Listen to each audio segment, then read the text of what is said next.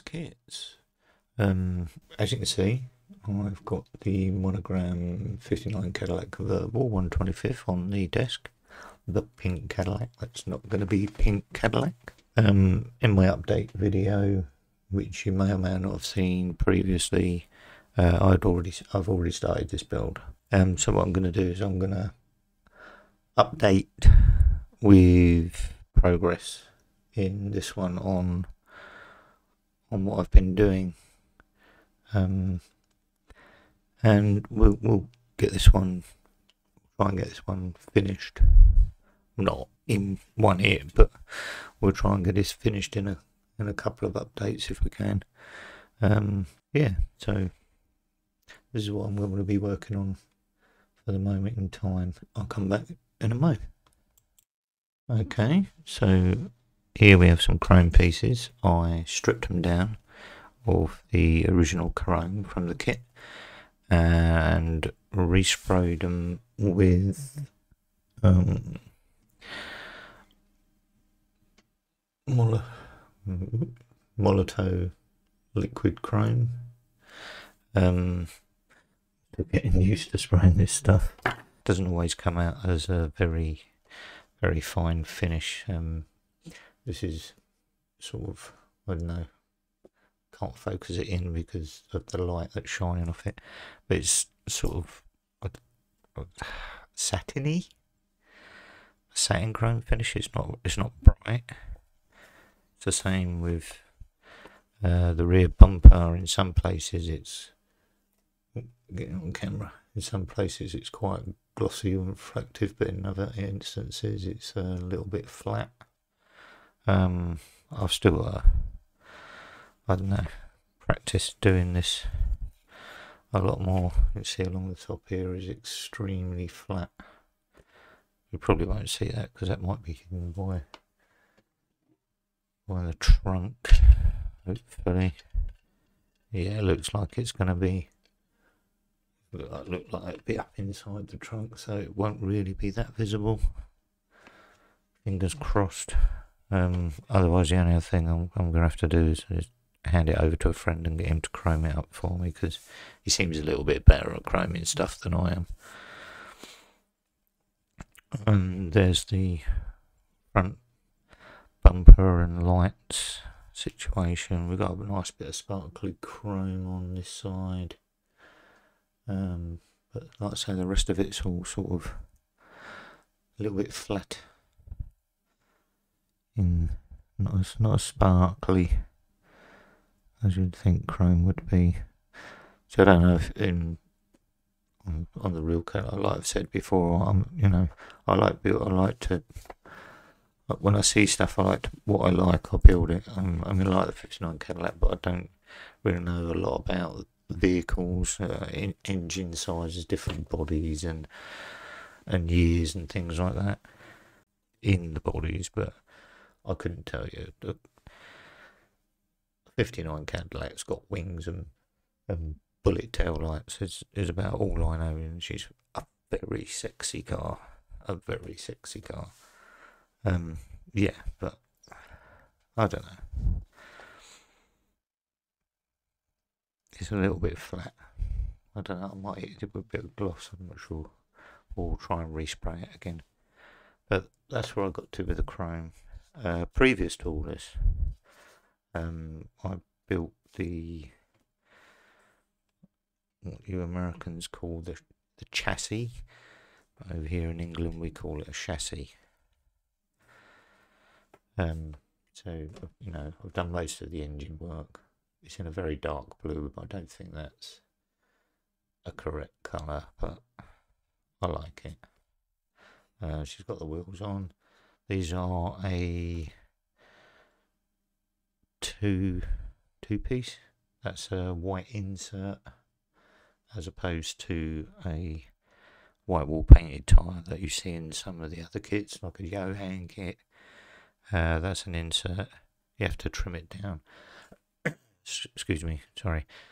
Not a case of trimming. You you need to get a sanding stick on it and you know make it available. but they fit in there quite nicely. It's not glued in. It's just pushed straight in and pushed straight onto the um, the points where they need to go. Uh, oh, that's my airbrush compressor going on. Sorry. You have bad enough trouble hearing me now without that thing going off. So yeah, it's it's not complete yet. There's still a few bits and pieces to go on that engine. Um, again, it's not focusing. My lighting and camera, I still haven't managed to sort it out properly. Um, I have given it a a wash with pan, uh, the Tamiya black panel line accent. Um, maybe we can see it at all. I've dirtied the exhaust a little bit with the same panel line. I tell you, it's just a lovely detailed kit. There's a lot of lovely detail in this kit. I'm looking forward to actually getting this one finished. Uh, she got a bit of panel line on the bottom of the engine. Again, like I say, it's a little bit too. Camera's a bit out of focus. I don't know whether to switch to my iPhone and do it that way. I don't know. But yeah, for she is a, a lovely detail kit. That's how I look forward to getting it together. Um, let's put that to one side. Uh, in the last video, in the update video, I said I was going to try and decide on a colour for for the kit.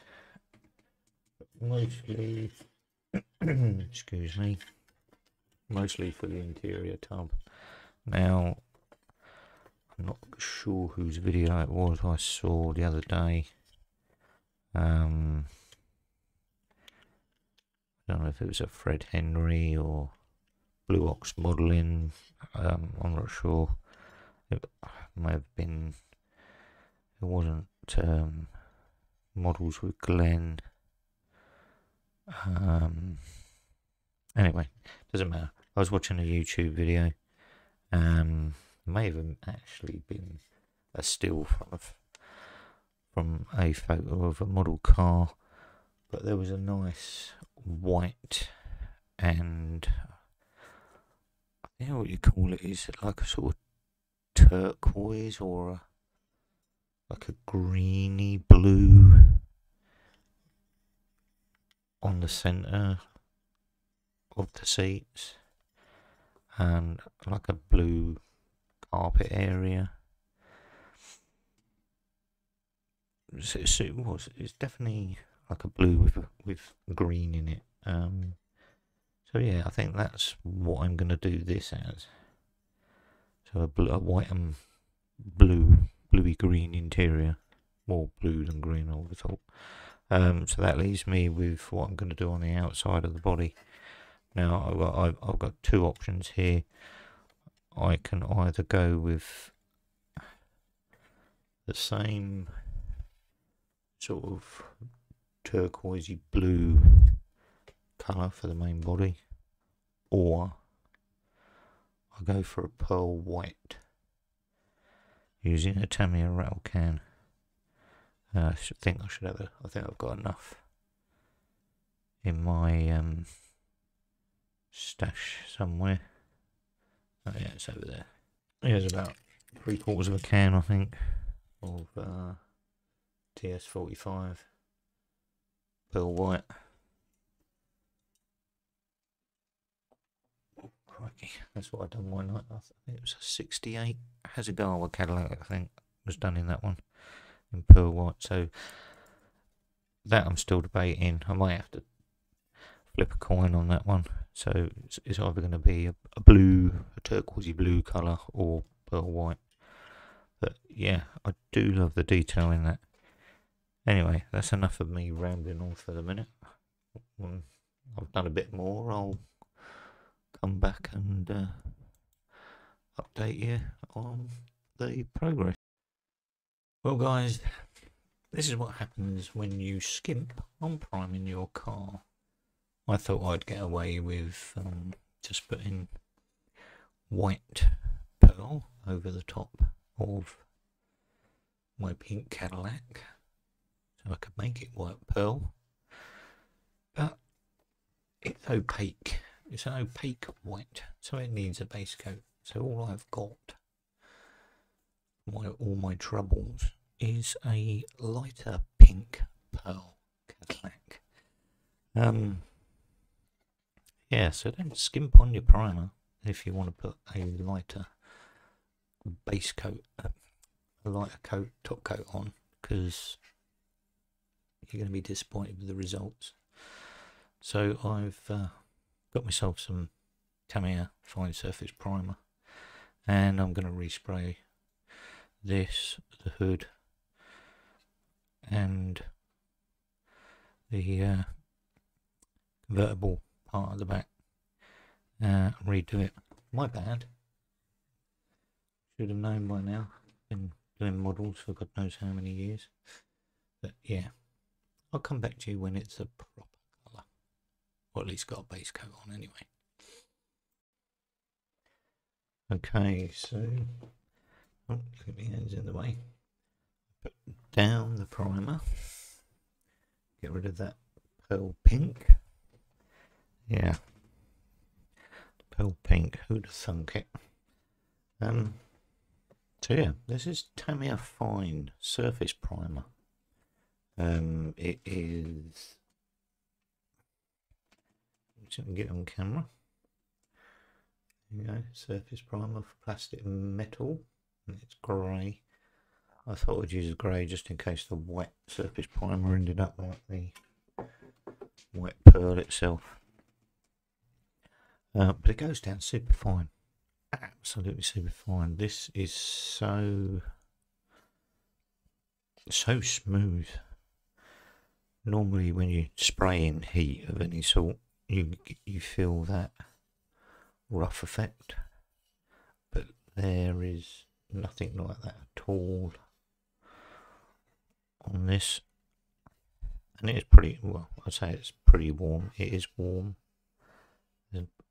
just a little tiny bit there which I can rub out with some I don't know some 12 or 1500 grit.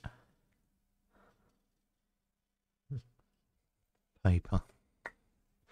It's just there it's only just a tiny little bit just in the back there.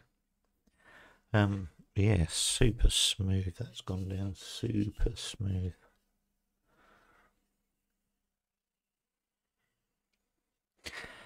Yeah, did the bonnet. Bonnet's the same. And that is out, but not quite gloss smooth, but yep, that's done. Nice and smooth. Got the uh, dashboard primed up. It's gonna be. Well, I'm aiming, like I said, I'm aiming for a pearl white. But I think the way I'm going to need to, I need to put a bit more primer down because we can't really, I don't know if we could see it here or not. Get it in focus. There's just a tad of pink still left in there, round about there. Um, but yeah, that one, I'll probably another coat just to get rid of that one. Now to lay down, I think the way I'm going to go around this and get the look of pearl that I want. Then I'm going to have to put down a gloss white or a pure white, I think, to start with. Um, and then lay a clear pearl over the top. I'm going to use the uh, Tamiya rattle cans for that. Because I love the way that I, I love the way they go down. They go down so, so quick. 10 minutes there, touch dry. Like 20 minutes, you could apply another, another coat over the top. And they come up super smooth, nice and glossy. If you're using a gloss, of course.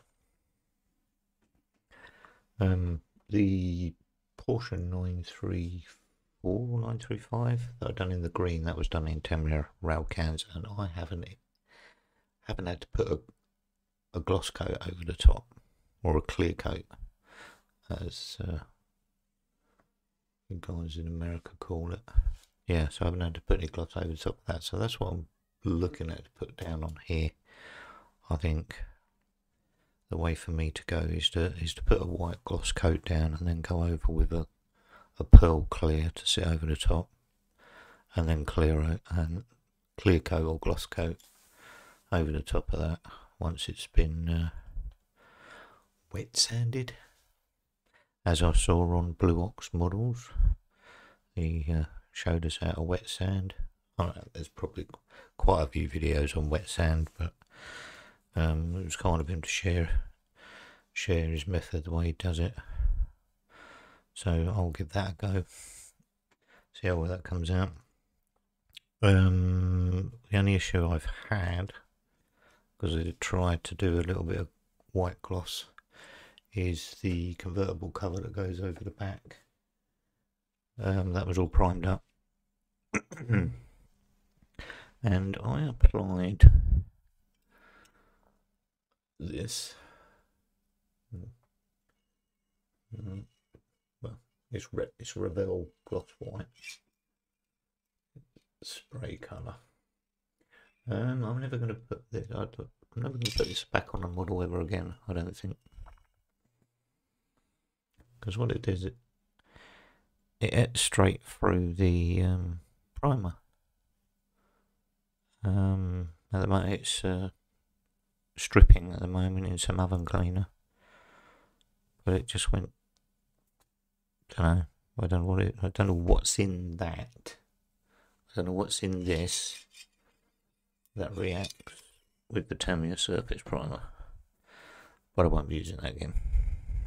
Well, not that combination anyway.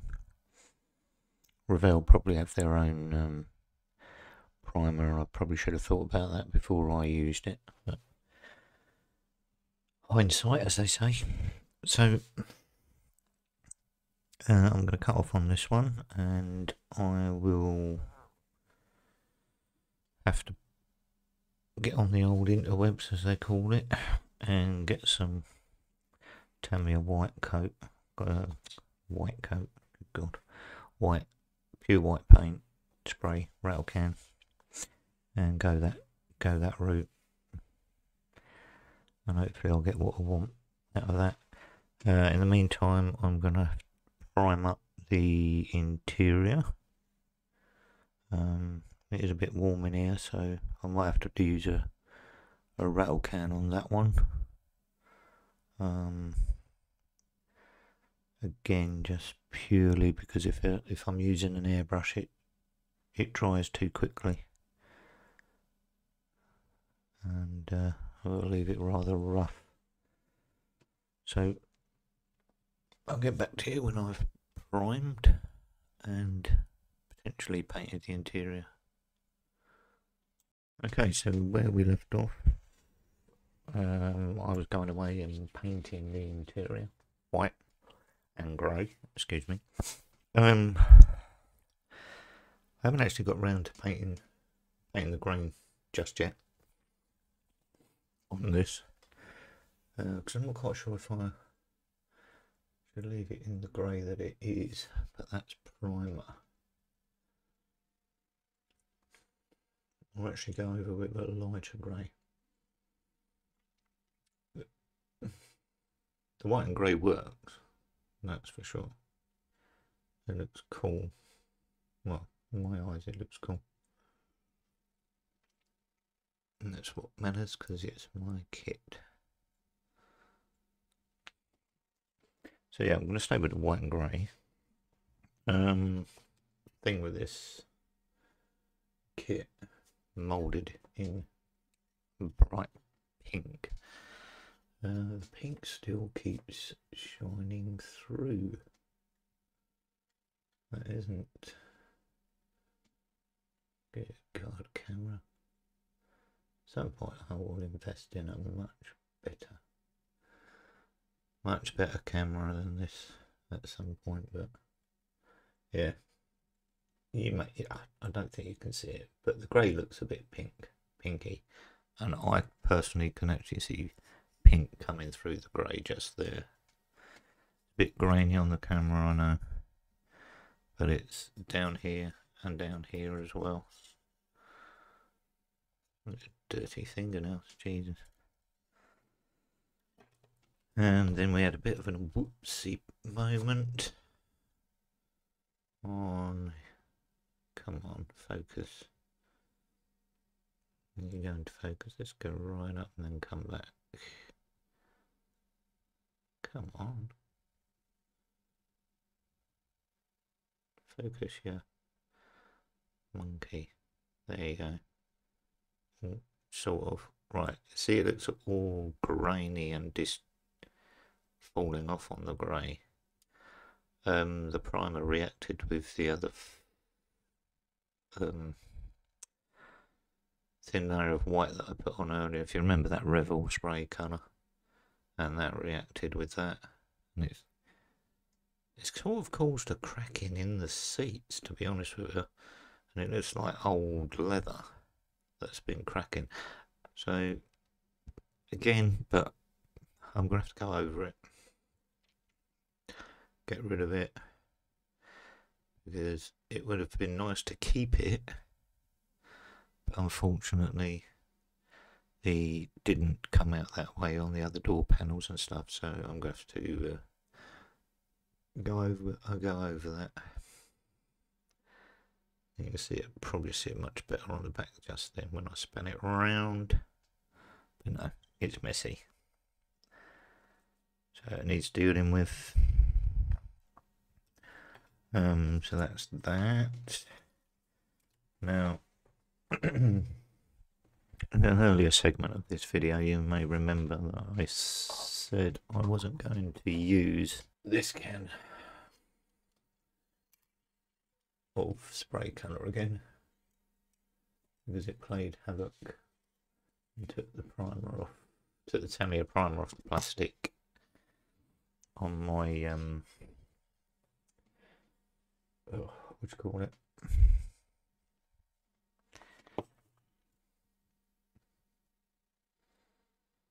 Damn. It's gone straight out of my head. Anyway, cover for cover for the convertible that goes across the back here. Um, and I sent off for some TS65 and uh, TS26, which was like pure white from uh, Tamiya rattle cans. Well, here's the thing, and it's rather annoyed me, to be honest with you. Our delivery driver, well, I say our delivery driver, a delivery driver, or maybe the loaders from the delivery company, handled my package in such a way that when I got it,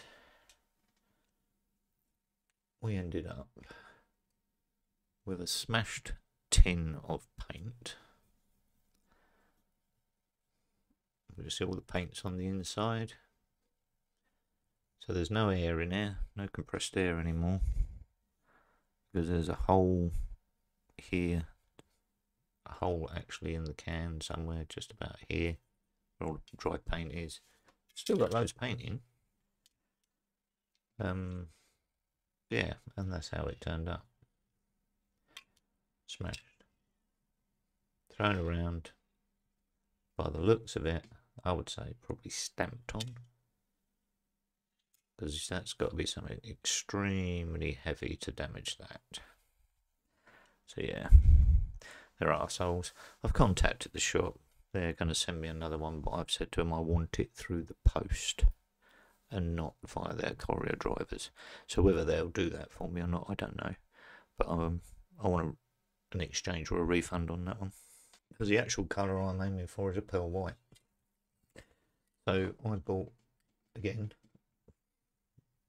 I mentioned it already, TS65. As you see that's a pearl clear. Because right at the very start, I used TS45, which is a pearl white spray. But it's very opaque and um, pink car came through, uh, and I didn't want a pink car. I don't want a pink car. So I had, unfortunately, had to resort to using this just to try and get ahead with this model because I need to put a, video out. And so I've had to resort to this.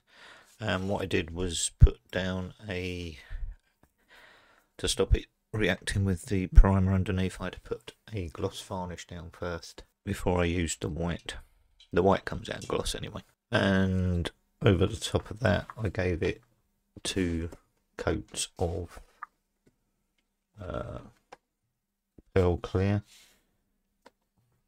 Can't really, unfortunately, see it on the camera. Maybe just a little bit across the back near that wing where I've got the brighter light. Let's see if I can. Metallics you can pick up normally, but there's pearl clear on there. There's two coats of pearl clear on there.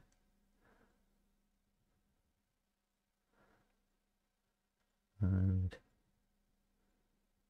that's the trouble with white. White's so bright. You never get it to... Uh, don't know if we'll pick it up on the back end or not. Mm, sort of. Can sort of see it with the light shining. But yeah, it's got two coats of clear.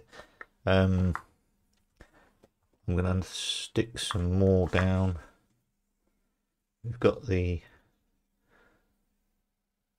the bonnet in the UK or the hood in America.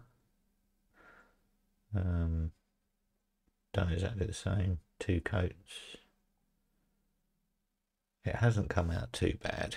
It's come out better than I expected.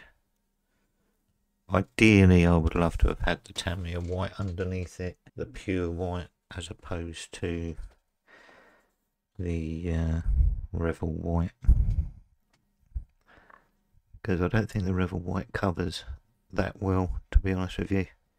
All of the the hood,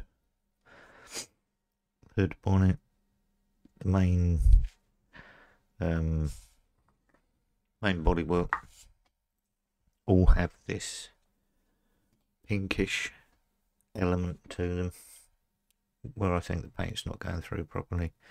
This has got two coats of that pearl clear on it as well, the dash. I want to keep it the same as the outside. Um, We'll do all the dials and stuff yet. But yeah, that's where we're at at this moment in time. Uh, I've got some engine engine bits to paint up. Got to get them painted. That well, I'd say got to get them painted. That bit's already painted, which is the fan duct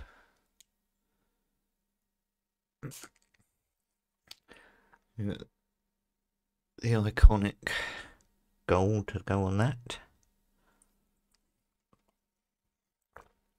Satin and flat black for radiators, etc. Plastic's like a metallic sort of grey. I mean, I could leave it like that, but don't think I want to. And then, oh, excuse me, I'm in the way of everything. Then we've got to deal with the pink steering wheel. Mm. The end, the inner part of that is is chrome. It's already uh, it's on, it's on the chrome tree. and we'll get that off. And then there's just other little bits and pieces to put on the engine. Um, get this interior finished. Paint up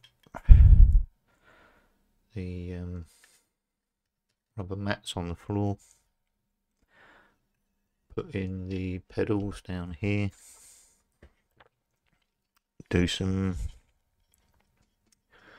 chrome work here or you can't see it bit of aluminium work there. I think it's an ashtray, an armrest ashtray.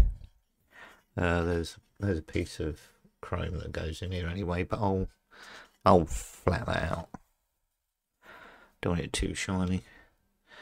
Then on the doors we've got um, pushed out the push buttons to be done. All these buttons to be done. Those bits there. Door opener. Uh, air conditioning grills, which are down the bottom there. This side we've got a little bit more than that. In there we've got the I can't see them. Sorry, just above where my dirty fingernail is. Come on. There you go. Yeah. Electric window buttons. And all the other bits are the same as what's on the other side. So yeah, that's got to be chromed up. Uh, for that, I will be using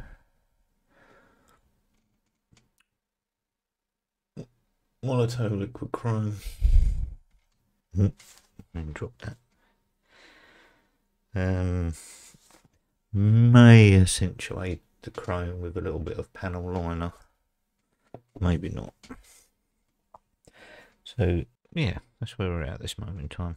So I need to crack on and uh, get this interior sorted out. Catch you soon.